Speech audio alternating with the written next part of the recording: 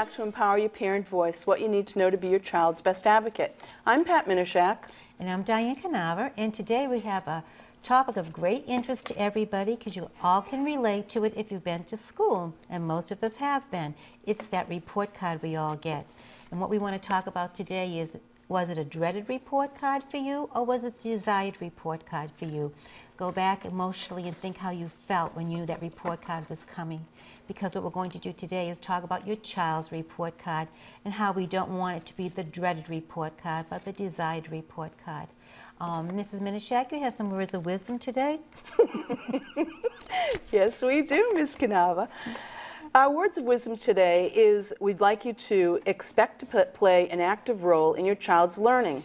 We want you to be the go-to person in your child's life. And in order for you to be that go-to person, we've actually put together um, a number of topics today on um, how you can be that person that you want your child to always go to. And if we take a look at those, um, what the, we actually are starting with the first one today that we're going to be looking at is uh, what proactive behaviors are required to stay on top of your child's educational program. That's number one. Number two is what you need to know and be able to do to get the most out of your child's report card. And we're going to be looking at some key points that we'd like you to be able to do in order to get the most out of that report card. And the last one that we're going to be talking about is why it's even more important to spring into action throughout the last semester of your child's school year. Because what you're actually doing is you're setting your child up for success for the next school year. Mm-hmm. And it's never too late, or never too early, I should say, to mm. start that type of behavior and being able to set them up for their future. Now, the first thing we're going to be looking at today is we're going to be looking at the proactive behavior that we're going to be wanting you to be able to accomplish. And uh, Diane's going to share some helpful hints and some tips on what you can do to become more proactive in your child's life to get the most out of that educational program that your child's in. Right, and if you can remember, to be proactive is to respond, not to react to something. And in pro being proactive is almost doing a readiness or preparation for something. And so, prior to that report card, we feel that what you need to really do is to build and maintain a strong relationship with your child as a student. Not only the teacher has to have the relationship with your child as a student, but you should also. And how do you do that? Well, you have to share what's going on at school. How was your day? And you see the papers they did. You look at the homework that's coming home. Um, you also have a student folder where you keep samples of the work. Uh, you can establish open communication lines between the home and the school when you look at those kinds of papers and the homework assignments, if they're getting graded, what quality they are, if your child's not completing their work. Uh, the other thing is to keep any teacher documentation you may get. So what we're thinking of here when we say proactive behavior is to have everything at your fingertips that tells you what your child is as a student and this way you can be monitoring the um, progress they're making, the regression they're making, um, just by looking at the pieces of paper they're bringing home or your discussions you're having with your child as far as how is their school day going? So it actually, when you think about some of the things that you just talked about, and we have a few more tips that you're going to be speaking of, we actually want them to actually go back to some of the um, communication skills that we talked about in mm. prior um, videos. Um, a lot of the uh, good communication skills are going to be very important because you're, you're saying you want to open those lines up and keep them open with your mm. child, correct? Exactly. That's a good point. And then as you go on, you're talking about being visible. Well, that's the other part of the communication piece. It's not just the written language, or it's part of the conversation you have as you go into the school building, being involved with what's going on there, so that you can see um, being supportive in the school in well, general is important. You want yeah. to be able to see some of the things that your child's experiencing mm. throughout the day on a day-to-day basis. Yeah, I, I, the way I, I kind of hesitated because I didn't want you to be a spy. No, But you don't need- want the but you- helicopter but you- parents. Exactly. I understand what you're You don't want to overdo it and, and make them overwhelmed. My mom's here again. What is she doing here? Every time I turn around, my mother's in the school. That's not exactly what I mean. What I mean is you attend a parent conference, or you, you attend a book fair, or you help out in the library, and you get the atmosphere and the feeling for the building, what your child's atmosphere is during the school day. Even if you look, you know, through the cafeteria when it's lunchtime, so you see what they go through, and you can really put on the cloak that they have to wear every day as a student in that school environment. Um, So you're really just saying enforce, reinforce some of the things that they, they're trying to Mm. do to enhance the child's educational program. Not be that helicopter parent that's constantly dropping in or, Right. you know, what are you doing? But, but setting it up so that even if it's, you know, when the child comes home from school, Mm. that you, you know, sit down with them and have a cup of tea or hot chocolate, maybe a Mm. little snack type of thing, you know, so that you're really finding out what's going on in their Mm. life and in the school, right? Yeah, and it, it's strange because I, I heard a conversation just the other day how some parents relate to their school as the family. You know, and, and that point. is a family. That is an extension of your family and is an extension of your child's world. So, you know, you, you cannot live in isolation the home from the school, especially if you want to be proactive and be aware of what is going on in that atmosphere and what kinds of things your child may be going through day to day or have to expect. And the changes, too. Oh, well, that's the other thing is what's the curriculum like? Um, what's going on in, in this part of the building? Are they teaming up as teachers? Um, uh, are they handling things a little bit differently? Are the fifth graders coming down to the first graders and reading books with them? You just be involved. What is going on? Um, uh, uh, especially like during a, a standardized testing day, how quiet is your school and things like that. Now, the other thing that you had mentioned was making sure that you attend the conferences or maybe attending the things that are important as, you know, maybe field trips or anything that they're looking for parents to become mm. more involved. And we are going to talk a lot more about that in one of our Oh, other yeah. shows. So, you know, we want you to know that we're not going to just cut things off at this point, but that we are going to, you know, expand it on our, on our next show. But the mm. last thing that we have here is that you want them to, to try and be more organized. And that was another thing we talked yeah, about to earlier. organize, keep a binder, keep all the documentation from the teacher, from your child, so you can see September to December to April to the end of the year. Every time there's a report card that comes out, put that there. Every time you go to a conference, put your notes there. Did you ask questions? Have they been answered? What other kinds of thoughts do you have for the next time you may want to go in to talk to a teacher? Uh, it's good to have that timeline there, and it's all visual in front of you. And maybe you can see the progress from this year's binder to last year's binder. And, and the most important thing is keep your efforts alive towards this time of the year. It is the end of the year. People are getting tired. It's been a, a lo- if it's been a long winter, you've had many snow days if you live in that part of the world, and um, it, it- there's a lot of interruptions with your child may being ill and out of school. The thing is, keep alive because the weather is getting warmer and your child needs to go to school, and you need to keep that motivation going. I, I- I would like to say one more thing with that. I think that's a very, very good point because remember, you do model for your children. Mm. And if you're modeling behaviors that are like letting them know that you're, you know, quieting down and you're kind of giving up and you're saying, oh, you know, it's the end mm. of the school year, well, that type of modeling behavior really goes over onto your child and your child will, will carry that through. That's you know, it's like even not just in the lower levels, but as they get into the upper levels, like in high school, you know, is your child or you a quitter or are you a finisher? Right. And that is so critical when it comes down to mm. even the senior year of high school. Mm. You know, when they're jockeying for positions on where are you finishing in class, you know, a kid who's like in the top of the class or second of the top 5%. I'm telling you, that makes a huge difference if they don't finish up with what they're doing, and it, that could bump them into different positions in their class standing. So I think that's a, a great Yeah. point that you just made. Um, we're going to move on to the next one, which is viewing your child's report card. You know, doing it in a purposeful way is so critical when you're you're thinking about you're getting these report cards. You get them throughout the school year. You know, how can you look at these with a purposeful you know, uh, look or a purposeful manner so that you're getting the most and your child's getting the most out of each one of them. And I think that goes back to what you said initially when you're talking about, you know, the dreaded, uh, you know, anticipation. You know, are you, are you really looking forward to it, or are you going, oh God, that thing is coming and I'm Yeah. really nervous?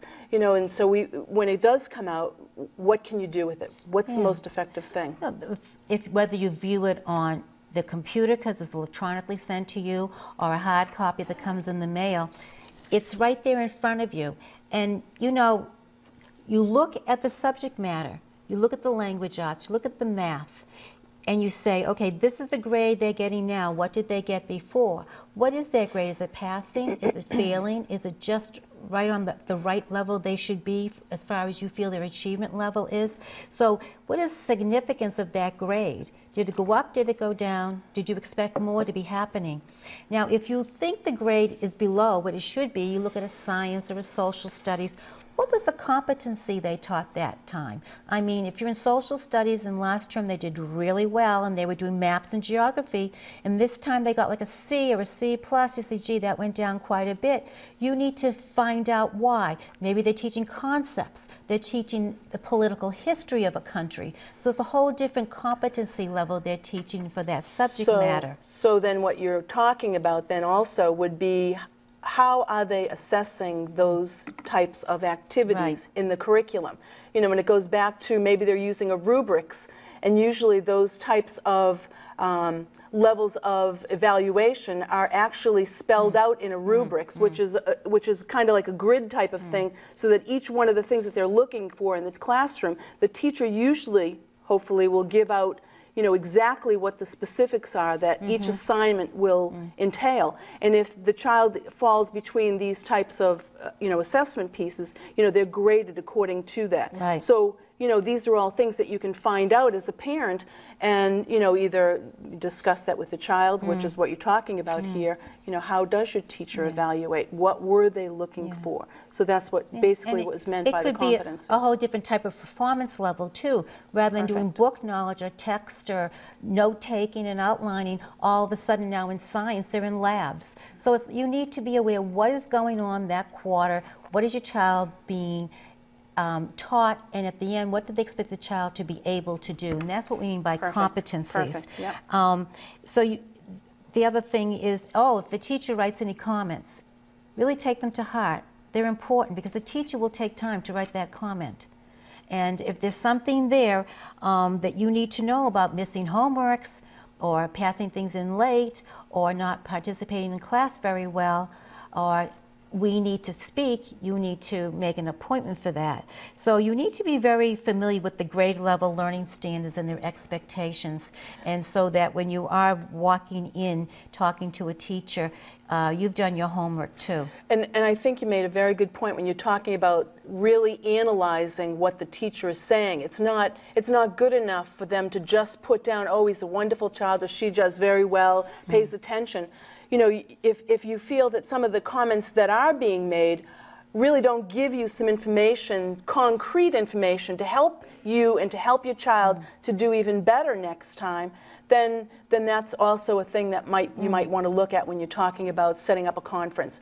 You know, so I think those are things that you know when when Diane was talking about looking at those comments and analyzing them. I mm. think that's that's an important thing to realize. Mm. You know, we all want our our child to be you know a great student, paying attention, but I want to know a little more than that. Oh, yeah, like in the language arts area when they get much older and they're doing more oral presentations than just a straight research. I mean, if they say your child is performing very well this term, what does that mean? I mean, you like to know the kind of skills they're picking up also. It's not always negative. You want to know the positive things they're learning also. Um, Take, the next thing is to talk over the grades report cards with your child. Um, You know, Oh, really yeah. go in-depth with your child to see, you know, exactly, you know, it's talking it out. Yeah, Talk it yeah. out with them. Yeah, once once you've done all your little, like I said, homework, go to your go to your child, and say to them, "We need to have a little bit of a conference here. You know, what do you think this grade means? Um, why did this happen? You know, um, is is the class too difficult for you? You Give them their day in court. Let them explain. You know, uh, give them more credit. And this is part of their advocacy um, kinds of skills. Like Patty said, you want to model the right kind of behaviors to question things. Maybe they thought a grade they got wasn't a fair grade. You know, maybe they don't remember missing so many homeworks. Maybe there was a time they could have gone and made up some work prior to a report card. So you teach them some little skills there. And then if you find your child's very overwhelmed and it's something that cannot be settled in, in a little conference you have with them, then you need to talk to the teacher. And maybe your child should be part of that conference and get some sort of a plan together. What do I need to do to be better? I can't meet deadlines. Well, let's break it all down, you know, Set and, and figure out how to do it, get the strategies there. What about the work habits? Maybe you need to set up a place for them to do their homework where it's very quiet. Maybe on Tuesdays you concentrate on certain thing that night. You know, that kind of thing. Your responsibilities at home as well as their responsibilities in school if they need to go to a computer lab or something like that. So that you can actually help them to set up a monitoring system themselves and have them take part in it. And what you're Hmm. Basically doing is you're enforcing the whole idea of the concept of proactive behavior. Right. Not just in yourself, but also in your child and how they approach Hmm. something. So that you can actually set, sit together and set up those strategies and make that a working thing that, that, so they can accomplish the next steps. Now, we're going to also be taking a look at this when we're talking about special education Exactly. situations. You know, with special education um, child already that already receives services and maybe on an IEP. Mm. Right. So maybe some there there are some other things that you want to take a look at when you're when you're discussing those things um, and, and and how they receive their reports. Yeah, well, over and above what the regular um, streamlined child gets in the, in the schoolroom, your child will get the same thing. You, they'll get their report card also. But every specialist that has worked with your child during that last quarter needs to write, and it's written. It's not a verbal. It's a written report on what they've done that month with your, uh, excuse me, that quarter with your child, and what the outcomes are according to the IEP. What is that objective I was supposed to be teaching? What they were supposed to be learning? What is the current performance level on that skill? And, it, and you should be able to take the IEP out and look at that that the subject matter, if it's OT, PT, if it's speech, whatever it happens to be, and say, they worked on this, and let me see, oh, the, the specialist said they've gone this far with it. And um, if you have any questions, you need to contact them and get some clearer information. But you need to know that every time the regular population gets something, special needs population um, staff needs to be getting you something also is with the reports and with the conference times. They all go together, they're scheduled at the exact same times. And these are also true with Title I and any accommodation Oh. plans also, correct? Well, Title I, if that's another person on the staff you need to contact, you need to contact them. That is a person that's responsible for the progress of your child, and you should speak up and say, well, how are they doing? The other thing is accommodation plan. If they have a 504 plan, that is reviewed annually each year. Um, so either you need to contact guidance or the principal, whoever is in charge of that. As the IEP is also going to be reviewed annually. Now, if we're, if we're taking, you know, a little closer look at what the purpose of these reports are, um, you know, you, you said that they get them quarterly like every other Mm-hmm. child does in the school system, as the regular education students do. Right. So if we're taking a, a clear look at what the purpose of these reports are, maybe you could share a little Mm-hmm. information on that, you know, and, um, and I want to say really a critical eye, take a Right. critical eye and look at those reports as well. And I think it goes back to what you said about looking and making the comparisons of Mm-hmm. what they're supposed to get and are they truly getting those? Yes. So, And, and the other piece is, it's much deeper um, than the face value of report card grade. When you get a specialist report, you're looking at that because if they're meeting all the goals and objectives on the IEP, do you want to decrease services? Is that something the specialist and you need to discuss? Do you want it, do you need them to be increased in the amount of time they get something? You know, each week, like in speech, if they're not progressing at the level they're supposed to be. And sometimes you, there's a chance for you to say, well, this is not needed anymore, and you agree with the, um, the data that's been collected by that specialist. So each quarter, even though the IEP is reviewed as a whole, as a plan, as a program for an entire year, each quarter things may change. Things may, be, may go, they may increase or decrease, or not be extended for the rest of the year. So those are things you need to know. So that's very important. You should be looking for those handwritten reports. Right, and um, going along with that, you know, when we find out that there is an issue that needs a little bit of extra help, um, it's, it's important for you, i- i- staying on top of what's offered, obviously, when we were talking about knowing what's going on in the school, Right. but is for you to be actually able to utilize support services and know what those support services are so that they're available to your child whenever they do need it.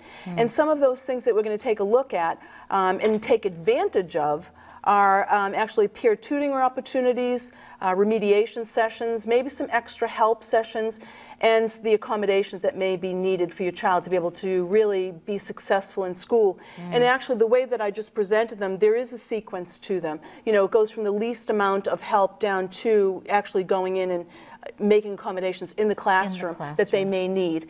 And so I think that that's really an important thing. And I think you have some question here of what, you know, what's going on here. And Well, when you do look at that report card and you see something that's depressed as far as performance, is it a learning problem you're looking at or is it a lack of interest? So that's why it's so important to be proactive and to keep the communication open between yourself and the school staff. And um, I know there's a lot of staff that go online through a website.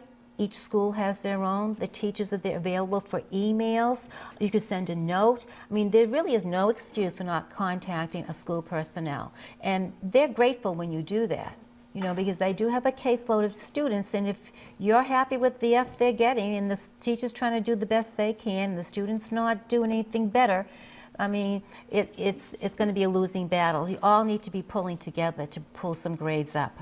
So I think one of the things that we need to look at when we start to talk about children having problems here is there they may start to show uh, some warning signs. So you need to be really aware of being able to pick out some of these warning signs that are really truly indicators of the child having or exhibiting problems, um, or even maybe student fatigue. And especially this time of the year, that's one of the things that may become more evident is student fatigue. So if we're looking at what that might look at if they're exhibiting issues, um, some of those things may be um, some of the following. And the first one is low interest in daily activities. Oh, yeah.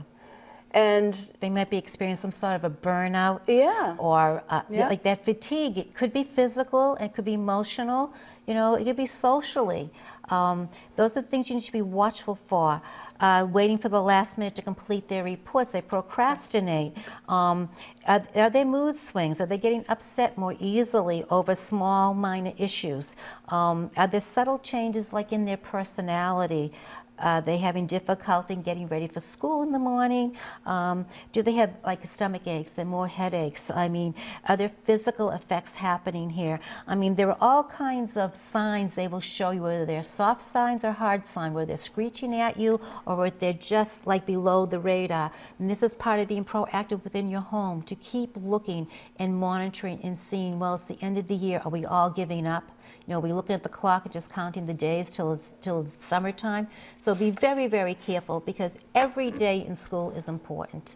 And, and it- I think it goes back again, and I hate to keep going back to some of the things that we had talked about earlier, but it goes back to, again, using good communication skills whenever you do see some of these warning signs, is not to put your child on the defense, but to, you know, use the, the I statements mm. so that you're actually, the reason why these are becoming an issue is because it's affecting you. It's affecting them, it's affecting you and your family unit or at school. And so using good communication skills and being able to try and find out what the problem is will, will be beneficial. Right. So, um, closing comment um, I think that we need to be vigilant, stay vigilant, and consistent with our proactive behaviors. And those are really the keys to success is being able to say, you know, I'm going to stay on top of this. I'm not, I am going to be a finisher. Right. I'm not going to be someone who, you know, it's the springtime, it's close to the end of school, then I, I don't really need to. Yes, you do. Yes. It's very important to stay on top. And so, um, It I think, Right. go ahead. I would say it's almost like looking at September, you're starting fresh. You know, you, you'll have a vacation week maybe in April or March, whatever your school system does. When you go back, think of it as September. Start fresh, you know, get motivated, get that extra energy going. Um, do we have time for a, a mini cam We're going to do a mini question? cam question. We have let's- to. Let's try. Um, We we need the bell, Miss Yeah. Cannava. Oh, it's time. Can you tell we've been on vacation for a while from this TV station? Yes, we have. Yeah. And here's our mini can question, and it comes from a parent for, that has a third grader. I'm just going to read it to you. Um, my child is a third grader on an IEP and re, is for receiving speech services two times a week. I recently found out that her classroom teacher, from her classroom teacher, that her speech therapist has been out sick for a week and may not be able to return for another week or more. So, what happens to my child's speech therapy sessions? And we have about two and a half minutes. Well, they should continue, number one. Um, If it's short-term or long-term, you'll, you'll, you should get a notification because that's a different person taking care of your, your child, and you should be notified. And um, everything should go on the way it's supposed to go. If not, if you're noticing it's one week, two weeks, three weeks, you need to contact special ed director immediately and find out what is going on. And the idea of um, compensatory services may be what needs to happen. They need to make up that time. They can make it up when the person comes back on board, you know, extending the, the time they see them per week, or it may be something they do during a, a summer months or something like that. But services don't stop if the staff is changed. They need to have someone in that spot. A, a qualified, a highly qualified well, it has person. yes, it correct? has to be someone that It's is not just um, somebody taking over for the classroom. no, someone who is either certified or supervised by the director of that. If it's speech, then the director of speech needs to, or the OT certified person needs to supervise. So uh, that, that's something you need to look up in, in your, your guide that your school gives you.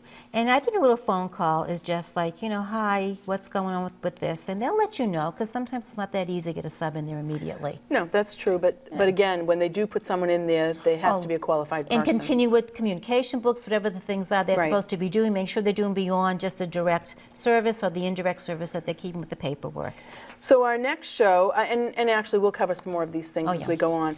Our next show um, is we're going to be talking about spring cleaning for your child's educational program, and in uh, keeping keeping things in order. And meeting your responsibilities, and we will be talking about that next time. So remember, we want you to stay informed. Um, remember, we'll try and help you with any of those things that we've already talked about because we, we're on Facebook and we actually have our website. Our website's and um, our website, oh, sorry, It's coming. it's coming, hang on. There it is.